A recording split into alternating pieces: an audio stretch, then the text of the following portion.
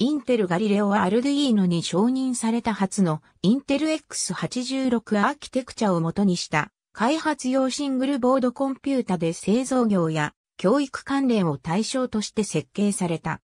インテルガリレオはインテル社の技術と既存のアルドゥイーノの拡張カードに対応し、アルドゥイーノのソフトウェア開発環境とライブラリーを流用できる。開発ボードはオープンソース Linux とスケッチーズと呼ばれる既存のアルドゥイーノ用のソフトウェアが実行できる。インテルガリレオは OS10、マイクロソフト Windows や Linux 上で開発できる。ボードは同様にアルドゥイーノシールドエコシステムに対応する。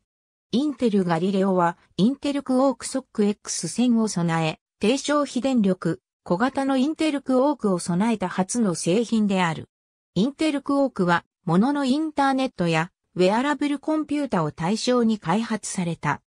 アイルランドで設計され、 Quark SoC X1000 は32ビット、シングルコア、シングルスレッドペンティアム命令セットアーキテクチャ、互換 CPU、最大 400MHz で作動する。